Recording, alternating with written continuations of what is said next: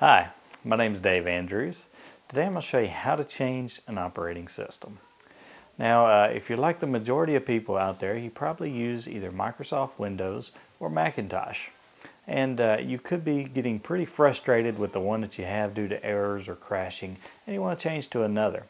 Uh, if you want to change to a free one, I would suggest that you use a software called Ubuntu Linux uh, which is free to download and use.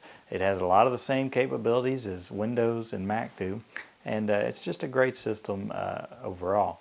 Let me show you how to download that on our computer. Now one of the beauties of Ubuntu is that you can download it and burn it to a CD and test it without ever even wiping out your computer or destroying anything without touching it at all. Just go to ubuntu.com And what we want to do from this uh, site is click on Download Ubuntu. And we want to grab a download CD, just like the one that I've got right here. This Ubuntu CD that I burned, it's just a regular old CD that you can burn, get buys from the store. I'm going to pop this into my computer. And I'm just going to reboot my computer to load Ubuntu.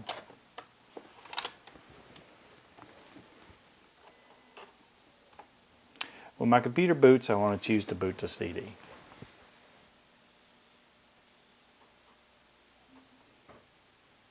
So once your computer boots up to the CD, you'll see a desktop here similar to what you're seeing in Windows or Macintosh. It has icons and uh, menus at the top.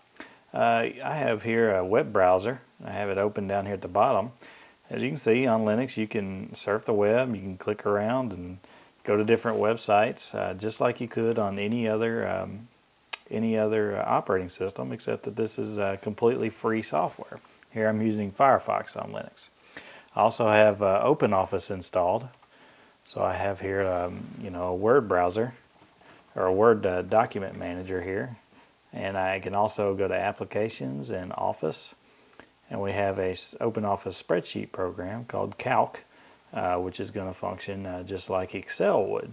So you have the Internet, Word, and Excel, uh, pretty much everything that you'll need uh, for basic computer use right here in Ubuntu Linux. And since you booted off the CD, this is not affecting your hard drive at all. So if you don't like it, just pull the CD out and reboot.